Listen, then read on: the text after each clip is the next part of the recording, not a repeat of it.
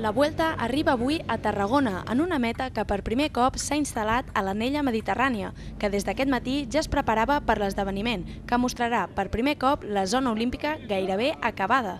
La prova es segueix a més de 180 països, fet que suposa una important promoció pels Jocs Mediterranis i la pròpia ciutat de Tarragona. Els ciclistes arribaran a l'anella de Campclar a un quart de sis de la tarda, després d'una cursa de 193 quilòmetres, que ha sortit des d'Andorra passant per Montblanc, Valls, la Nacional 240 i l'A27.